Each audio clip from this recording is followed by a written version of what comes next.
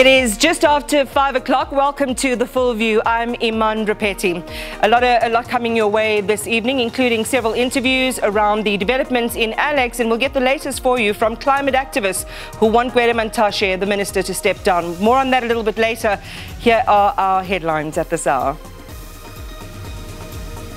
Seven people found shot dead on a farm near Kestell, that's in the eastern Free State.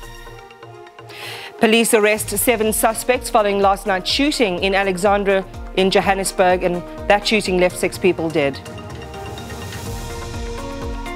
President Cyril Ramaphosa insists that his detractors will not bully or intimidate him over his Limpopo farm burglary.